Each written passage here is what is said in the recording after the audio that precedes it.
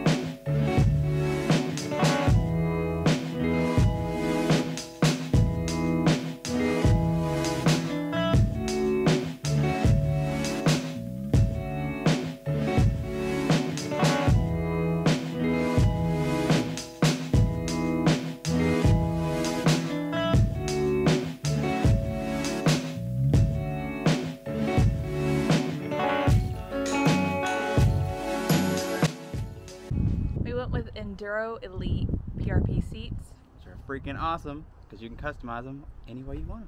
Yes, there was a lot of options, so it was kind of hard to choose. I wanted to go with the color scheme I already have going with the teal and this is called I believe Jewelry Box Blue and it's not on the website so if you have something you're wanting to do and it's not on the website you just can give them a call they have this color but for whatever reason it's not on the website so we just gave them a call and they were able to do it the way I was wanting.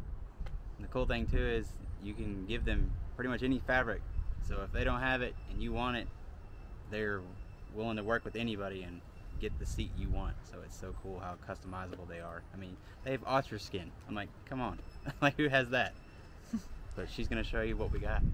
So this is the PRP Elite seats where you can recline them back. They have lots of options to do. We went ahead and they have the Elite logo here and you can put a brand or a logo there.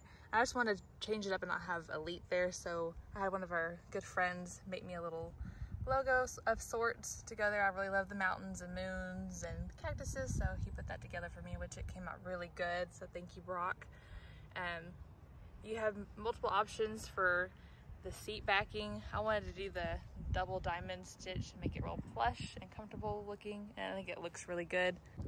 So there are infinite amount of color combinations and fabric combinations. We went with the suede backing for, it's super hot in Texas, so you last thing you want to do is to sit down on one of your seats and have it burning your bottom. So we went with suede for where you're gonna be touching with your skin and then of course the really pretty teal vinyl for the pop of color. Again, you can do it in different ways. They have ostrich, they have all kinds of different options for you to pick from, which is really nice. It was kind of hard to go through and make decisions, but I'm really happy with what they came out. And they have other options too. We got the air lumbar support and heated seats so we can have maximum comfort. Now that it's wintertime, I'm super excited to get them installed so we can have warm bottoms when it's cold outside and the air lumbar support for my back when we're driving long distances to keep real comfortable while we're driving. Features we didn't do is they have a little pocket right here you can put on here like a goggle pocket that just sticks off the front and you can put anything in there. We didn't want that because I like to clean this. I'm pretty sure you do as well. So we didn't do that option. And then they also on the back back here you can get a pocket which we opt to not get and then you can also get a bladder for like a uh, hiking bladder, but they put it in the back of the seat so you can fill it with water and you can have water anytime you're out on the trail or whatever. If you could bring a water bottle, you have a glider in your seat. So those are the three options that we didn't get. We wanted to keep it real clean and simple. So I think it's really great. She did a great job picking all the cool features, different textures. So I'm excited. So the cool thing about these seats is you can put them in just about anything. But we need them for our LJ, so PRP makes brackets to put them in the Jeep. And the way they work is they attach to the bottom of the seat here and actually works with your your original slider. So all you have to do is mount brackets to the sliders and then the seats can be up and optimized for your Jeep. The only thing you have to do though, which we're going to do today, is we have to make a mount for the seatbelt buckle, which the PRP does not have on the brackets. So you have to come up with your own mount to mount the seatbelt buckle if you want to retain your factory seatbelts, which we do. And future, we are going to do four point, five point harnesses, four or five. We just want to be secure in the Jeep, so we're going to wait until we get a cage to do that. But let's get these seats all bolted in this Jeep. First thing we got to do is we got to rip all the carpet out because that's a whole nother video. But got the seats first, so let's get the carpet ripped out, clean the Jeep out, and then get these seats tossed in. All right, to pull the seats out of the Jeep, you need to take out the front screws first with the seats slid all the way back. You're gonna need a 13, I'm using a wobble and a little impact. We're gonna zip these suckers right out of here.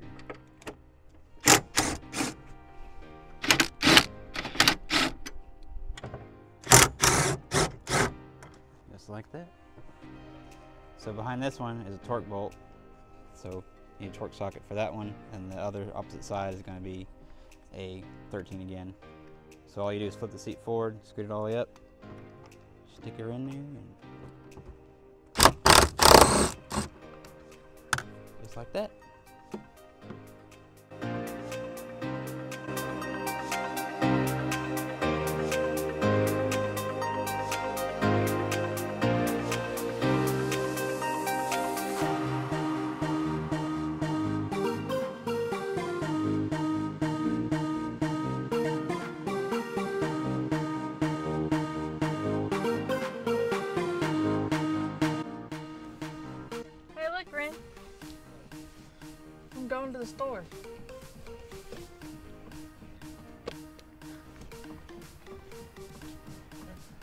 Riding on? Your knees?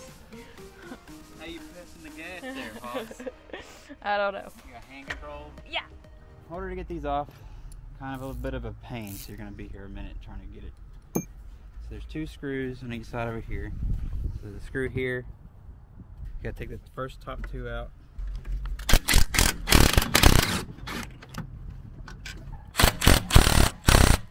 So after you get those two out, there's two more on the back.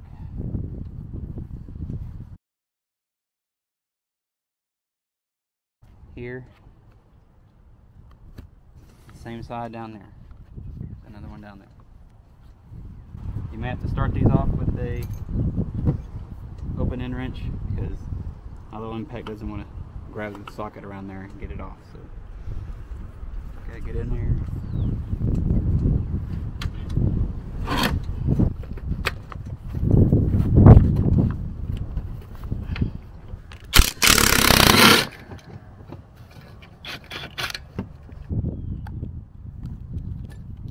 all those bolts were 13s. And so then you also need to take out your seat belt.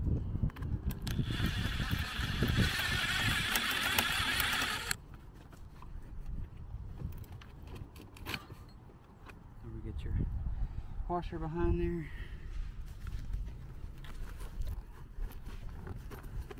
And also your plug.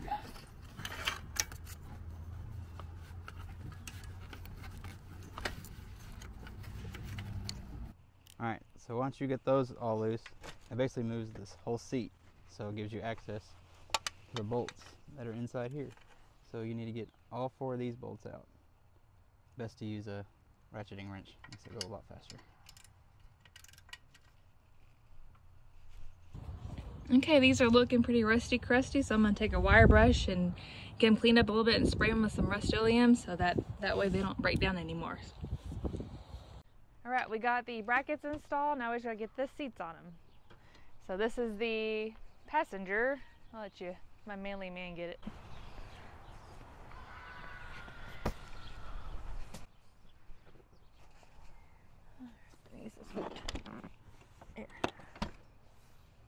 All right, got it all installed for the driver's seat. Brackets down there. Found out the bushings are gone on this one, so we need to get some new bushings for the sliders so it doesn't make any noise. But other than that, this thing came out great. I need to install the heated seats still, so we'll do that here shortly. And then place to get this for the lumbar support and just probably shoves back under there. That way you have access to that really easily. The only thing I have left to do on the seats now is install the seat belt. So the brackets don't come, I'll show you on the brackets don't come with any type of uh, provision for the seatbelt buckle. So I'm trying to come up with a way to mount it. I was thinking on since this is the passenger side, so this side's on the inside. I was thinking maybe I can go under the bracket in a spot and attach it. Not 100% sure yet. Still trying to figure that out. But I will update y'all on how I did it. Other than that, Looks like we didn't get a set of bolts, so Nicole ran to the store to get the other bolts. We're gonna get these bolts tossed in here. I'm gonna get the seats thrown in to make sure everything fits, and I'll pull them out, and then work on getting that installed. So to mount the seat belt to these brackets, you can't reuse the stock stuff because it's no longer there.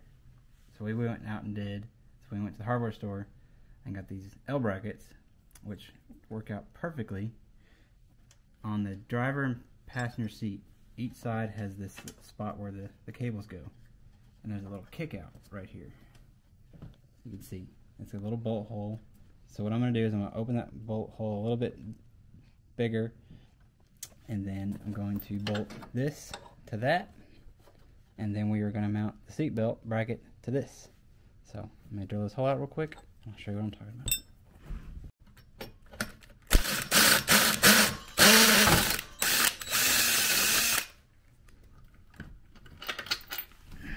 Take your bolt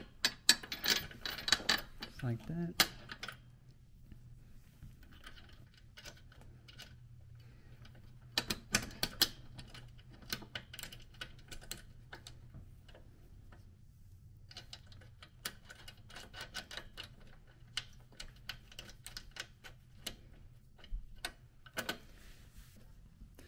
Just like that. Fits in there like it was made to be in there. All I gotta now, stick the buckle on, and we're good to go. Just like that. Now have a seatbelt on your PRP mounts, or technically your Jeep original factory slider. Alright, so in order to get the wiring all squared away for the heated seats, um, I didn't want to just run it to the battery and have it turn on and off that way. It's kind of ugly and you like everything nice and clean. So what we did is we ordered some piggybacks. Um, I think I'm not 100 sure 100% sure what these are called.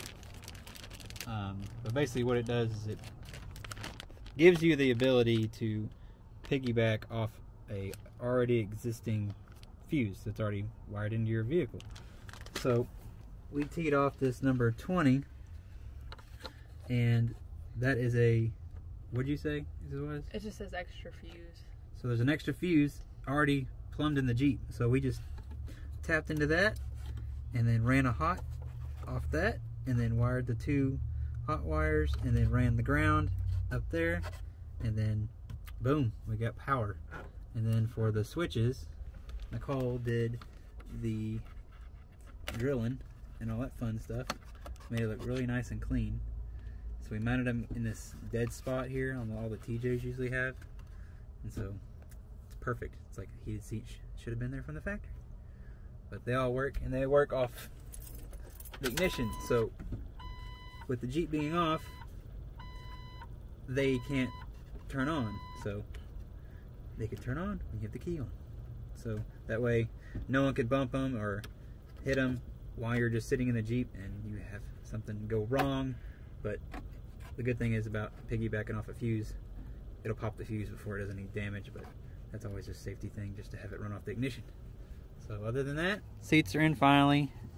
And how we ran the wiring under the seats is there's a little pocket down here back where the so-called like wiring for a seatbelt would be. So the driver's seat has that, the passenger seat doesn't. So I ran both the wires through there so that way it doesn't affect the seat when you're sliding it back and forth. Nice and clean. We're going to tuck them up under here. And then it's on to carpet, which is in the next video. So y'all stay tuned. We're getting all new carpet for the Jeep. That's why we left the carpet out of this thing when we put the seats in. Other than that, seats are in. Time for more upgrades. Hmm. Yay. It's gonna be cold tomorrow, so I'm so happy we finally got wired in.